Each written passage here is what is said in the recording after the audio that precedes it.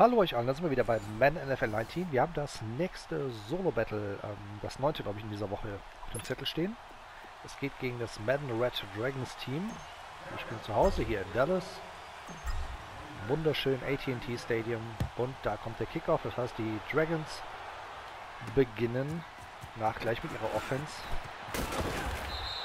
das Spiel zu eröffnen. So, dann schauen wir mal, wer Quarterback spielt. Ich bin gespannt stellen natürlich erstmal unsere Defense entsprechend ein. So, so, so, so. Cover 3 Match. Fangen wir erstmal ganz konservativ an. Drew Brees. Der Rekordhalter, was geworfene Yards der NFL angeht.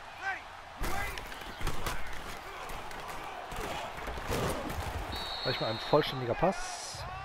Bis an die 36 Yard Linie, 7 Yards. Bedeutet zweiter Versuch und 3 in eine Cover 3 Sky Defense hinein. Also gerade eben kam ich an dem Tackle überhaupt nicht vorbei. Ich versuche jetzt mal, ob ich über die Innenseite kommen kann. Auch die ist leider zu. Das hat, glaube ich, zum First Down gereicht. Da war der... Nein! Er wird zurückgepfiffen. Dritter Versuch und zwei. Wäre der Receiver einfach liegen geblieben, hätte es gereicht. Dann wäre der, der, der Fortschritt gestoppt gewesen. Aber er hat nochmal versucht, nach vorne zu kommen. Und dieser Move zählt dann. So, Drew Brees, da ist aber komplett in mich hineingelaufen. Guten Tag, mein Name ist Demarcus Lawrence. Ich bin hier, um Sie zu Second, Three and Out. Das hat doch mal sehr, sehr gut funktioniert. Jetzt kommt Dion Sanders. Schöner Spin-Move. Bis an die 45. Schöner Return. Da bin ich doch sehr zufrieden mit. So. So, wir wissen ja noch, was beim letzten Spiel passiert ist. Ich werde also jetzt wirklich versuchen, mal das Laufspiel zu etablieren. Aber wirklich zu etablieren. Blitz von der linken Seite, das ist mir jetzt relativ schnurz. Weil wir laufen ja durch die Mitte. Das sorgt schon mal dafür, dass wir die Mittellinie überquert haben. Zweiter Versuch und vier. Das ist genau das, was ich haben möchte. So, Halfback Power, das muss eigentlich, äh, das muss eigentlich Eddie George sehr liegen. Wir laufen auch wieder über die rechte Seite, jetzt aber zwischen äh, Tackle und Guard. Da kommt noch ein schöner Block. Eddie, das ist Eddie George, das kann er halt dann. Ähm, First Down an der 36-Yard-Linie über die, über die Innenseite. Da ist Eddie George wahnsinnig stark. Über die Außen ist Elliot stärker, da müssen wir nicht drüber reden. Aber das ergänzt sich sehr gut. So, wir laufen wieder über die Innenseite. Solange ich den Ball auf dem Boden halten kann, werde ich das versuchen. Drei Yards Raumgewinn. Bedeutet zweiter Versuch und sieben. So, wir laufen über die Außen. Zweiter und sieben. Oh, da kommt ein Blitz über die linke Seite. Dann kann ich da natürlich nicht mehr herlaufen. Ähm, Audible, wir machen einen Slant. Ich schaue mir an, was Cooper macht und ich schaue mir an, was Terrell Owens macht. Den habe aber auch auf den letzten Drücker habe ich den geworfen, bevor ich gesackt wurde. Aber das war ein 21 Yard Pass, der mich gleich in die Red Zone der Red Dragons befördert. So, noch 12 Sekunden auf der Uhr. Da können wir auf jeden Fall noch einen Spielzug laufen. Wieder Blitz von der linken Seite. Wir bleiben trotzdem bei unserem Play. Und kommen bis an die 8-Yard-Linie. Also wieder 4 Yards Raumgewinn. Das sind, das sind genau die Yards Entfernung, die an der Defense wehtun. Wir sind im dritten Quarter. 2. und 6. Wir laufen jetzt über die linke Seite. Auch wieder über die Mitte. Den Blitz hätte ich auch kommen sehen, aber ein, ein äh, Cornerback oder ein Safety, der kriegt, glaube ich, Schwierigkeiten, Eddie George zu tackeln. Aber jetzt haben wir einen dritten Versuch und fünf. Wir haben bis jetzt noch keine Punkte auf dem Scoreboard. Also jetzt nutzt uns bis dato alles nichts, wenn wir hier nicht punkten. Ich schaue mir uns an, ich schaue mir Sharp an. Sharp ist da Muttersehen alleine, aber das hat, glaube ich, nicht für ein First Down gereicht. Vierter Versuch und eins. Freunde, was tun wir?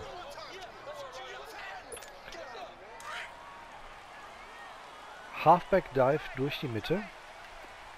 Und jetzt machen wir da ein Audible draus. Quicksland of Terrell Owens. Und da ist der Touchdown. Der vierte Versuch war erfolgreich. Ich glaube, mit dem Lauf hätten wir es nicht geschafft. Dafür haben sie die, die ähm, zu viel in der Mitte zusammengezogen. Uiuiui. Trotzdem, das war knapp.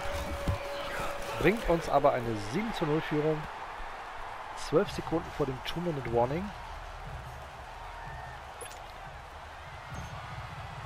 Das war ein guter Drive. So, an der 1-Yard-Linie bringen die Dragons den Ball wieder ins Spiel und starten jetzt an ihrer 28-Yard-Linie noch 8 Sekunden bis zum 2-Minute Warning.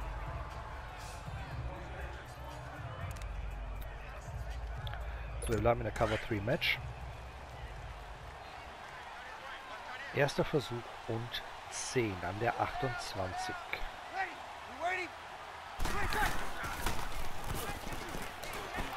Oh, der ist intercepted. Da waren zwei Verteidiger. Da geht es eigentlich nur mal darum, wer, wer von den Cowboys die Interception macht. Ganz schwacher Pass von, von Drew Brees. Gleiches Spiel. Laufen. Weil da können wir auf jeden Fall nochmal mit Sicherheit mindestens in Field Goal Range. Wenn nicht sogar noch mehr. Ich gewöhne mich langsam an Eddie George. Hat einen anderen Laufstil, natürlich als, als der kleine ähm, Ezekiel Elliott.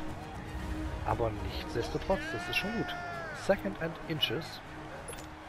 Laufen wir stumpf weiter durch die Mitte. So, die letzten zwei Minuten haben angebrochen. Da muss ich wirklich nur einfach nur den Stick nach vorne drücken und Eddie George läuft nach vorne. Erster Versuch und 10 an der 25-Yard-Linie. So, wir laufen über die Außen.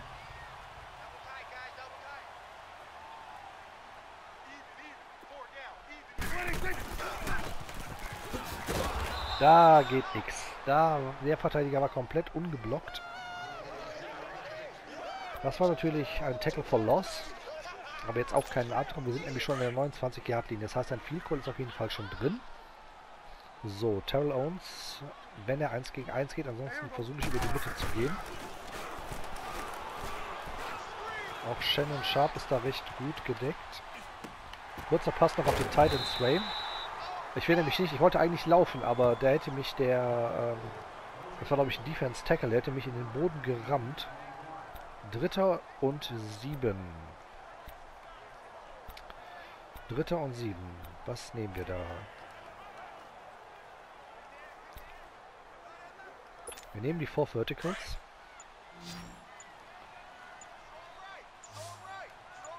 So, ich schaue mir Sharp an. Beziehungsweise würde gerne selber laufen und laufe in den Block hinein. Da war eine riesen Lücke. Ah, schwacher Spielzug. Wir sind an der 30-Yard-Line. Ähm, da müssen wir nicht drüber reden, ob wir da einen vierten Versuch ausspielen. Da werden wir versuchen, ein langes Field Goal in 47 Yarder zu erzielen. Das müsste aber eigentlich klappen. Bailey... Souverän ist anders, äh, aber 10 zu 0. Noch 34 Sekunden auf der Uhr. Die Red Dragons erhalten den Ball noch einmal wieder zurück. Wieder an der einen Yard Linie starten sie mit ihrem Return. Da hat es gerumst an der 24-Yard-Line und dort kommt jetzt Drew Brees wieder aufs Feld. Ja, also die Interception, die er eben geworfen hat, die war schon echt äh, seltsam. Also in eine, in eine Doppel- oder fast eine Dreifachdeckung schon zu werfen. Sehr, sehr riskant. Man muss ja auch sagen, meine, meine, meine, meine Linebacker-Unit ist ja so mein das Glanzstück meiner, meiner, meiner Defense. mit äh, Ryan Shazier, mit ähm, Markus Ware, mit äh, Sean Lee. Wobei die Markus Ware auch sehr, sehr oft als, äh, als End mit aufläuft. 2011. Und das war schon das Ende der ersten Halbzeit. So, und auch jetzt wird es wieder schön, weil wir dürfen retournieren. Das dürfte Herrn Gruden nicht so gut gefallen. weil da hinten steht ein gewisser Dion Sanders. Der bekommt schöne Blocks hier. Schöner Spin-Move. Immer noch auf den Beinen. Und kommt bis an die 44-Yard-Linie. Also auch wenn das war zwar jetzt kein, kein, kein Kick-Return-Touchdown, aber da waren sehr schöne Moves mit dabei. Wir sind an der 44-Yard-Linie. Das ist natürlich sehr, sehr gut. So, wie gehabt, wir laufen durch die Mitte. Eddie George. Schöner Spin-Move und da ist er durch. Und da kann auch ein Eddie George mal richtig Gas geben. Touchdown Cowboys. Gleich im ersten Offense-Spielzug der zweiten Halbzeit ist Eddie George durch.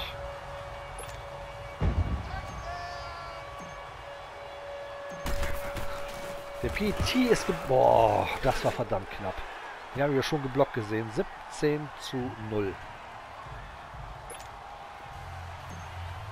Ich glaube, da können wir uns doch auch aufgrund der bescheidenen Offensleistung der Dragons relativ beruhigt uns jetzt die zweite Halbzeit angucken.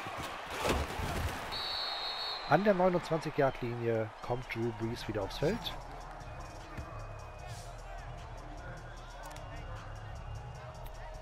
So, Cover 3 Match, ganz konservativ. Da müssen wir gar kein großes Risiko eingehen. Wie sie eigentlich schon überhaupt einen First Down erzielt, ich weiß es gar nicht. Wenn nicht, dann haben sie es jetzt. Chacon Barkley lauft durch die Mitte. Ist mit einem Running Back wie Barkley einer ist, eigentlich gar nicht das Verkehrteste. Er hat auch eine sehr starke Truck-Fähigkeit. Ähm, An der 44-Yard-Linie, neues First Down.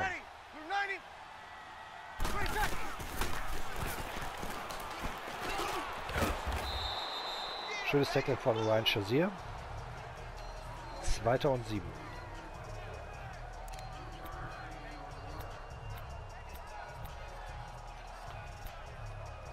Corner Blitz 3.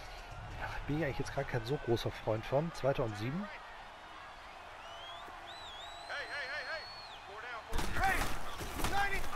Laufspiel wieder durch die Mitte.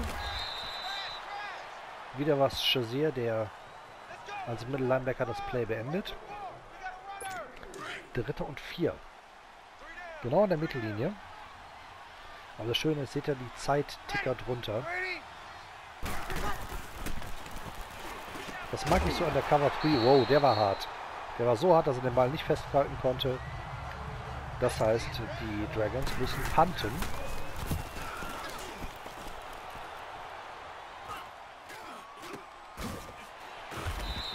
Gutes Spiel der Special Teams. Hätte ich eigentlich zu sicher, da wäre ein Fair Catch eigentlich schlauer gewesen. So, an der eigenen 16-Yard-Linie. Logisch, ihr kennt das Spiel jetzt. Eddie George durch die Mitte. Wieder eine Riesenlücke. Boah, das ist unfassbar. Der ist schon wieder durch. Touchdown Cowboys. Eddie George. Zweiter Touchdown. Ganz souverän gemacht. Jetzt haben wir eine 24 zu 0 Führung. Gut, ähm, wenn ich mittlerweile nur noch einmal Eddie George den Ball beim Handoff geben muss und der läuft dann durch die Mitte, ist das ähm, absolut ausreichend. Ja, und die arme Offense der Dragons muss, muss schon wieder auf das Feld.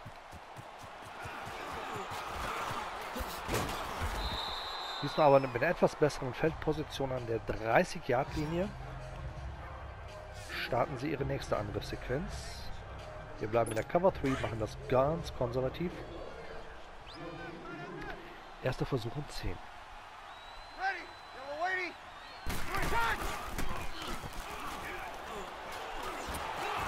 Wow, der hatte Ryan Chazier die, die Riesenchance zur Interception. Weil im Moment des Abwurfs, glaube ich, ist äh, Drew Brees da von die Markus wäre übel angegangen worden.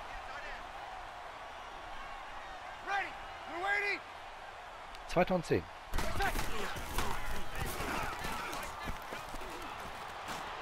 Langer Pass. Oh, der war gut. Aber konnte nicht festgehalten werden.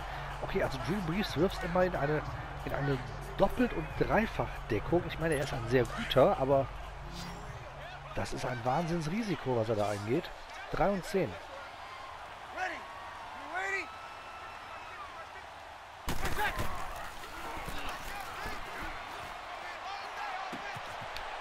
Uh, schwacher, schwacher Tackle-Versuch, aber Gott sei Dank, da war Sean Lee dahinter, hat es ausgebügelt. Und schon wieder Schluss.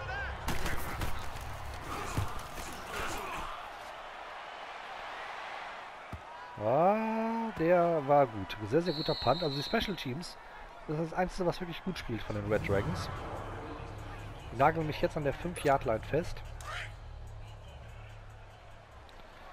Jetzt kommt wieder der Spielzug, denke ich, den sie hassen werden.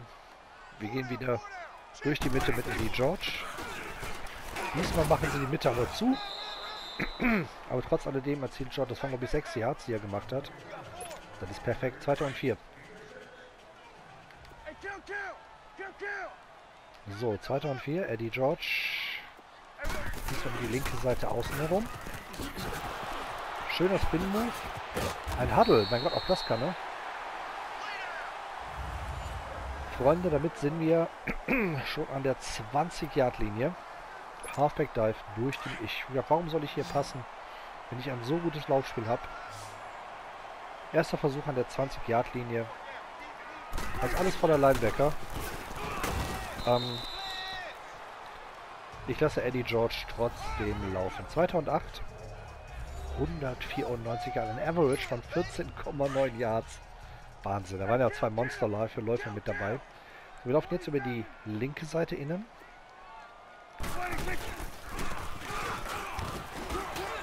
Und er tankt sich da einfach durch. Also selbst ein Middle Linebacker war gerade nicht in der Lage, ihn zu tackeln. Und ich habe ja noch nicht mal den Aggressive-Modus hier eingestellt. da bin ich mal in den normalen Challenges gespannt, wie sich das noch auswirkt. So, wir laufen über die rechte Seite. Hätte ich schon früher, früher rüberziehen können. Zweiter und zwei und das dürfte, ja, das jetzt wir beim 2-Minute Warning. Da lassen wir die Uhr einmal in aller Ruhe runterlaufen. Ich bin gespannt, inwiefern die, die Red Dragons gleich noch mit ihren Auszeiten arbeiten werden. Weil bei 24 Punkten Rückstand ist das eigentlich nur äh, den, den, den, die bevorstehende Niederlage herauszögern. Wieder Lauf durch Eddie George, dann wäre er schon fast wieder durch gewesen. So, neuer erster Versuch an der 47 und es ist so, die Dragons nehmen ihre Auszeit nicht. Wir laufen weiter durch die Mitte. Ich glaube, mit Eddie George über Außen werde ich gar nicht mehr groß laufen. Ich mache das mit Eddie George über die Mitte.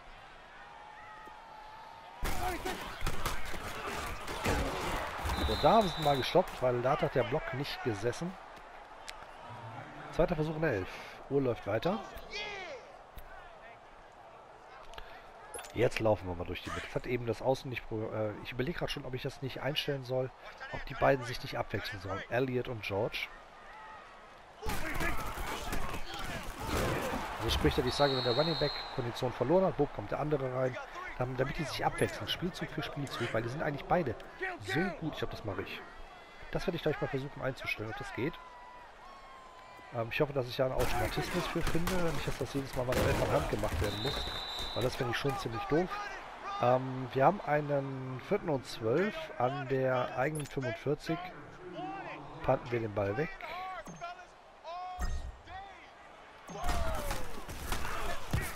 Schauen wir mal. Schon wieder ein sehr guter Punt. Boah. So, Chris Jones, der Panther.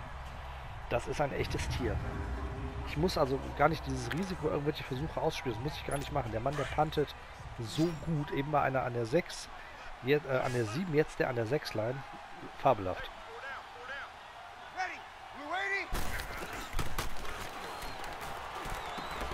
Viel Druck, direkter Tackle. So, das heißt 2. und 7.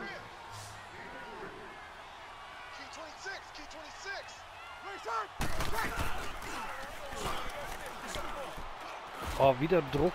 Oh, fast die Interception. Ryan Shazier, der ist wirklich sehr auffällig. Dritter Versuch und 7.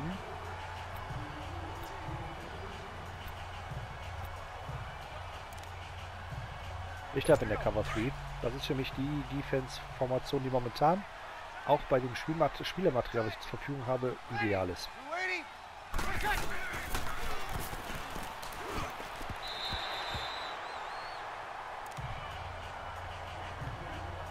Müssen sie punten von ihrer eigenen 9-Yard-Line aus. Da kommt der Punt. Da hinten steht ein gewisser Dion Sanders. Den haben wir ja schon kennengelernt. Spin Move. Auch nochmal wieder ein, bis an die 41-Yard-Linie.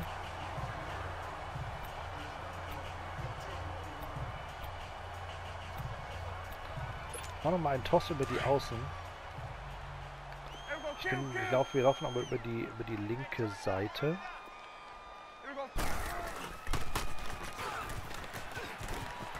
Da haben wir eine Riesenlücke. Und das war's. 24 zu 0. Das war souverän. Bis zum nächsten Mal. Ciao.